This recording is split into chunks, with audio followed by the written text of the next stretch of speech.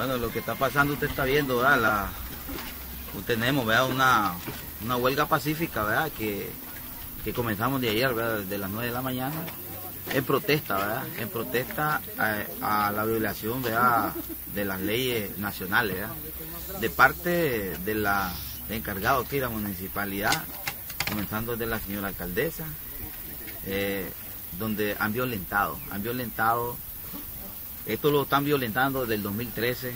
Los afectados que estamos nosotros aquí, mira, todos nosotros, estamos afectados por la decisión que han tomado ellos, pues, de otorgar más concesiones de motocaponeras sabiendo que están violando las leyes. ¿Cuántas motocaponeras son las que hay ahorita entre ustedes? Aquí hay 30 bicicletas, hermano, pero esas 30 bicicletas van a desaparecer y se van a volver a motocaponeras que son las artesanales y que son las que están que sabemos todos prohibidas por este gobierno, pues, por lo que no es un vehículo seguro, es un vehículo artesanal que no es hecho por una fábrica, no tiene ninguna seguridad.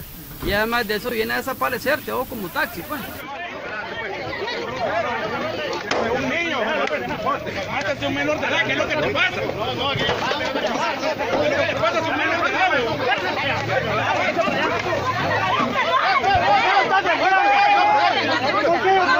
¿Qué está pasando? Aquí?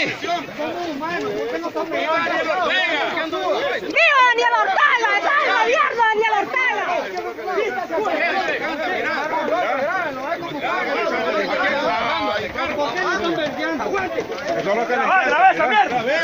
Dale, aguanten, eso es, por eso les pagan, dale. Eso es lo que quieren. Eso es lo que quieren, que mientan Melvin.